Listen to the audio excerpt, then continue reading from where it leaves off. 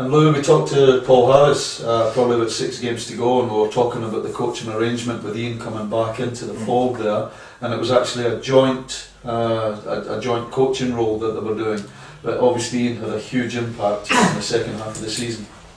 Ian came in back as just as because he runs a a multi-million dollar business. He's, he's a director of IMAC, who are a stainless steel kitchen company for all the big uh, large hotels casinos, and he's got all, all the chains of Baker Baker Boy and Red Rooster and all that. So he hasn't really got the time. So he does one. He's come back for one day a week. He took charge of training, and I think they called him technical director. Mm-hmm.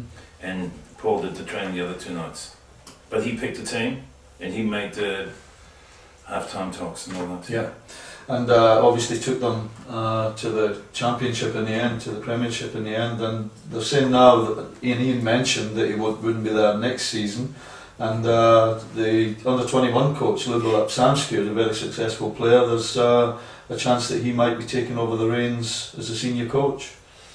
Yeah, I worked with Lubo for about four years. Lubo is technically very gifted, sees things early.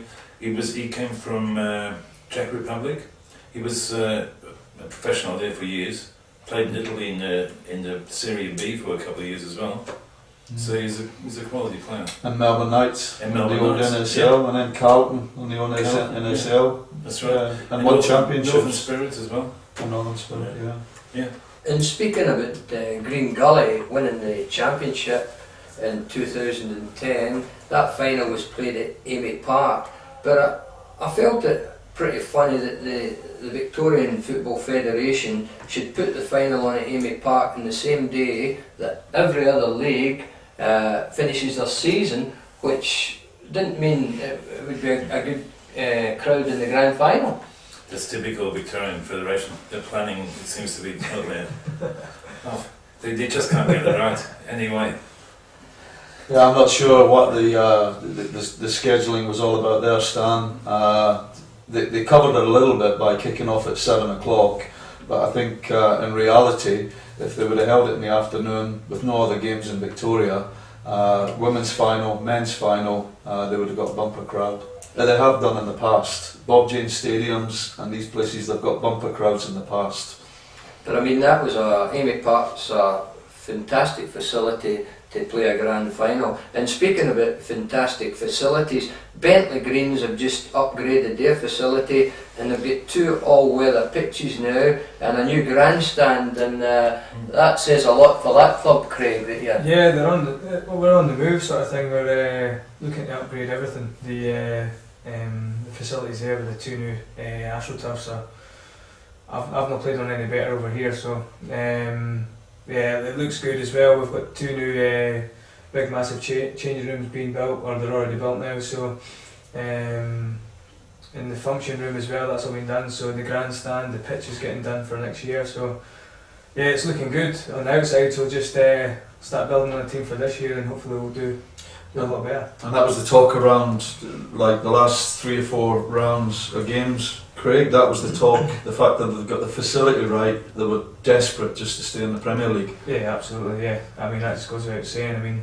uh, best best facilities almost around um, at the moment. I'd say uh, you don't want you want to be playing at the highest level with that facility. I mean, players want to come and play at that sort of sort of facility every week. So I mean, it just makes you makes training a whole lot easier as well uh, on that. So. And uh, credit to the coach Andy O'Dell, he's been around at the uh, two playoff games that I've seen, uh, Craig, and I believe he might also made a couple of signings already. Oh, it's, it's news to me, so I'm not really 100%. So, Well, rumour has it that uh, maybe you can confirm this, Stuart, that Aaron Walford is making his move from Dandenong Thunder to Bentleigh Greens. Oh, that'd be a good signing if he could come. Uh, yeah, he's a, he's a, he's a good player. Played well the last couple of years with Stu and that, so um, ah, that's news to me, like you say. Aaron Wolford gone to Bentleigh Green, Stuart. Have you heard anything? No comment. no comment from Stuart. In Football Federation Victoria had their awards night two weeks ago. Frank, and you have the winner of that. Yeah, the winner of the men's, uh, the gold medal was Fernando de Moraes from South Melbourne. Who pulled 19 votes. And the runner-up was Yanni Galanis from Heidelberg, who pulled 18 votes. And for the women, it was Sarah Richardson from Bendigo Vipers, 21 votes, and the Heidelberg player Rita Mankowska, uh, she pulled 17 votes. And just to mention, uh, the top goal scorer was Trent Rickson with 20 goals from 19 games, and the runner-up from that was Richie Cardosa with 13 goals. Yeah, tremendous goal scorer Trent Rickson. And moving on to the the, best and fairest for the State League Division 1, we had uh, Joe Donaghy uh, from Langwarrin Soccer Club in 18 votes. He actually came in third, but he got the award because the, the two players that came in first and second were ineligible to win it because they'd picked up five yellow cards or the, a red card. Yeah, this it's a funny old system. This Stan. Uh, they mentioned prior, just prior to the awards night, about a week prior to the awards night, that anybody that had five bookings and had been suspended would be ineligible uh, for the award, and that went through to the Premier League as well. And uh, I know in the Premier League, uh, the first 11 vote getters, eight were ineligible. They've got to seriously have a look at that for uh, next year. It's the first year it's happened, but uh, they've got to have a look at it for next year. And obviously in the State 1, uh, two uh, beating Joe Donaghy, Adam Zilic, and uh, young uh, Luke Anafalian from uh, Fawkner. And to be fair, uh, 19 votes. If they haven't got a red card, it's a pretty harsh system to miss out on. Yeah, it's pretty harsh, but I'm delighted for young Joe Donaghy. I had young Joe in the Victorian State under 16 squad when we toured Singapore and Malaysia. And you're a good mate of Joe Donaghy's, Craig. Yeah, I used to uh, live at his family home for about a year. Um, it's like my wee brother sort of thing. He's uh, he's a good boy and he's he's obviously shown now that he's a quality defender. Uh, good left back, so for centre half. So And you had watched Langwarrin a few times this season. Lou, uh, was young Joe sticking out for you?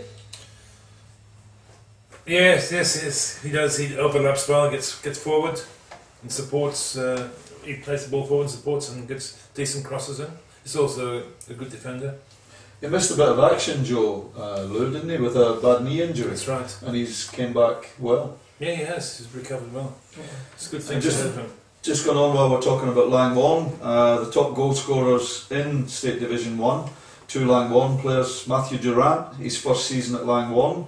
He's been playing in the lower leagues and spent some time in the US, uh, but he's come back and got the top goal scorer award with 15 goals. Caleb Nichols, Langwarrin, 14 goals, and I believe Cal- Caleb missed about four or five games because he got married and went on honeymoon. And then uh, two Fawkner players, both on 12, uh, Rudy Saglam and Robert Dalewski. In the State League Division 2, best and fairest player uh, for the Northwest region was Joshua Romain from the Ballarat Red Devils with 26 points. Uh, just moving on to the Victorian State Division 2 Northwest top goal scorers.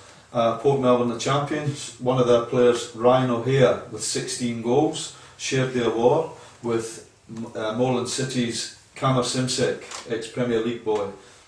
And uh, the third place getter was with Whittlesea Ranges, Simon Lamanda. In the State League Division 2 Southeast, best and fairest was Matthew Morris Thomas from the bottom club, oh, second bottom club, Frankston Pines. Uh, 24 votes, but he was ineligible. And uh, Money Niadzamo from uh, Eastern Lions uh, got the, the medal for that one. Uh, Munya uh, Niadzano, uh, he's with the Eastern Lions, and uh, he was the strike partner of the top goal scorer, who was Oren Harrell. Oren got 18 goals. Frank Albanese, Marwolf Pegasus, 14 goals. Uh, and joint with Birkin Sakachi from Southern Stars on 14 points. Munya scored 13 goals, Stan. And Matthew Morris Thomas missing out. They're uh, Stuart for the Frankston Pines Club. Uh, again, your old club, and you know Matthew Morris Thomas well. Yeah, I know Matthew from when he was a, a junior player at Frankston Pines, and even in his young days, he used to bang in a lot of goals. And he's obviously come on of age now, and he's uh, yeah, still playing at Frankston Pines, and he's um, yeah doing really well there.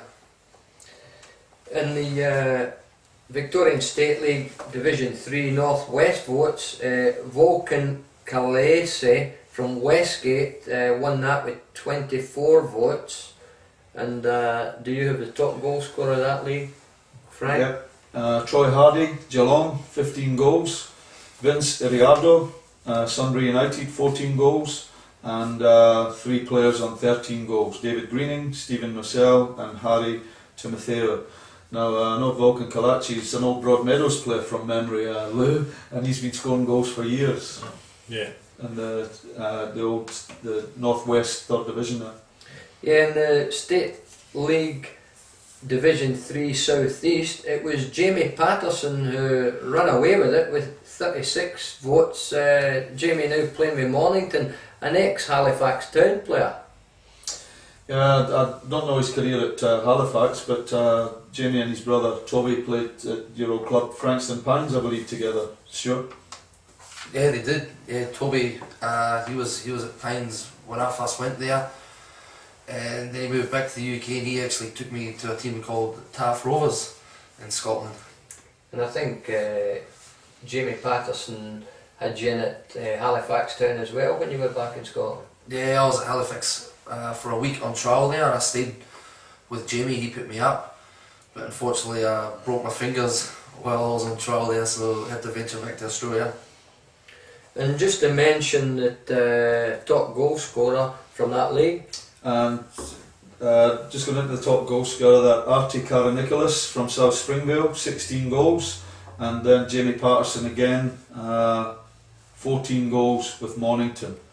And uh, Co- Coffee Stemy Jr. with 13 goals, along with Henry Wooten from Fitzroy City. Coffee Stemy Jr. from Noble Park United. And I think just also to mention uh, the promoted clubs coming into the Victorian State Leagues this year, uh, coming into Victorian State League Division 3 North West, we've got Western Eagles as champions and Surf Coast as the runners up. Uh, do you know anything about Surf Coast, Frank?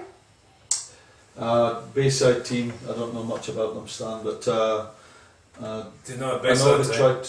Sorry? Are they Bayside, are I think they're in the Bayside and uh, they're. No. Oh, I don't know North much East, North. Oh, Must be sorry. from Geelong somewhere down there, the the Surf Coast. Oh, sorry, no, it's Sorry? not the Surf. Okay. Torquay. Oh, Okay. there you go, Torquay. Sorry, I'm getting mixed up with somebody else down in the Bayside. Well, that's somewhat different. Uh, club coming in from Torquay and relegated from that league uh, were Layla and Essendon. Now also promoted to the Victorian State League Division 3 South East. Doveton as champions. They've been a bit of a yo-yo club over the years. Used to be in the Victorian Premier League and uh, Old Scotch, Brandon Park and Springvale City relegated. Now, uh, do you know too much about Doveton, Lou? Not very much at all. I believe uh, when Berwick had problems when uh, they changed coaches and a lot of their players left Berwick and went to Doveton, three of them. And Berwick's been relegated and Doveton's been promoted. Yeah, no, uh, they'll be playing against each other Yeah. in Victorian State League Yeah. Division 3 South East next year.